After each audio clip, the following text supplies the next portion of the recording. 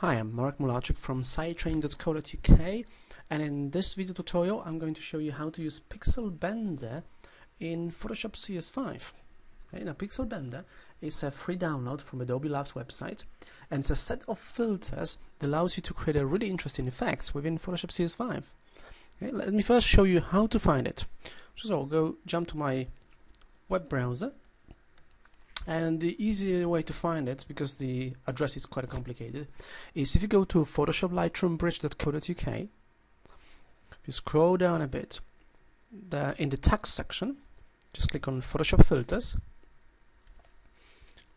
and in here you find a post with Pixel Bender, play with Pixel Bender, and here's a link to Adobe Labs, so you can click on it and then jump into Adobe Labs to download the Pixel Bender plugin for Photoshop CS5.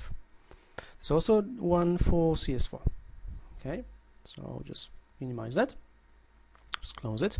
Now I'm here in Photoshop. I'm going to use this image here, and I'll show you a few Pixel Bender filters. So go to Filter, Pixel Bender. That's where it appears once you download it and install it in Photoshop.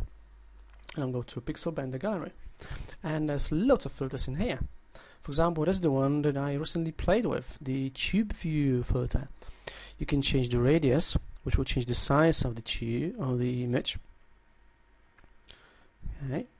You can set the turbulence. Very interesting effect. Then we can also change move the center point. I moved it on this area here but you can easily move it anywhere you want within your image. So I can move that somewhere here maybe on the front of the building on some people there's lots of them in here. Uh, let's have a look on some others. Uh, circle splash, very interesting effect. I'm just going to move that maybe somewhere here. And I can move the radius. Okay, I'm just going to move it down, trying to center it. Uh, or maybe make it slightly smaller. That's a really interesting effect with the circle splash. Let's have a look on the fisheye not exactly what you would expect from a fisheye and if you look about fisheye lenses in photography. But something really interesting. I'm going to move the radius to maximum. Now I'll just move the counterpoint for the x-axis and for the y-axis. And if I just drag move it in it looks like a page in a book. A very interesting effect using the fisheye and the pixel bender this is one of my favorites. And also a hole. Okay. Just a hole. so I'm going to skip that. Kaleidoscope. This is really interesting. If you remember the kaleidoscopes in the old days. So I'm going to move the fade color zero a bit. So you can see how it changes the color. Now what I would do here is I would change the size to about here then move the center point. Starts looking really interesting. That looks good. And maybe this size as well.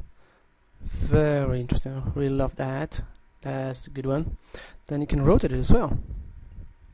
It's rotating. Another really really interesting fact in here in the pixel bender. Then I'll show you oil paint. That's the one I created on my blog for the bridge.co.uk oil paint we can create paintings, oil paintings with your images. Stylization will change the amount of strokes or details in the image.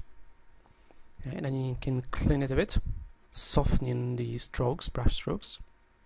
Colorization. Okay. Very contrasty. So I'll just lower it a bit.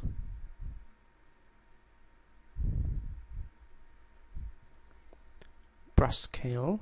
So you can scale it up and down. Okay, brush strokes. Uh, I like this kind of effect. Very interesting one. So there's the old paints. Okay. There's many more. Oh, I like the old paints so I'll just press OK to accept it. And this is the image inside Photoshop. So have a look on it. Play with the pixel bender kit Pixel Bender Gallery within Photoshop. It's all free. You can download from Adobe Labs website. Mm. Have fun, enjoy it, and let me know what you think.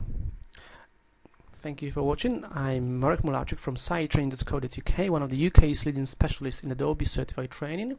I hope you enjoyed it and have fun with the Pixel Bender. Thank you.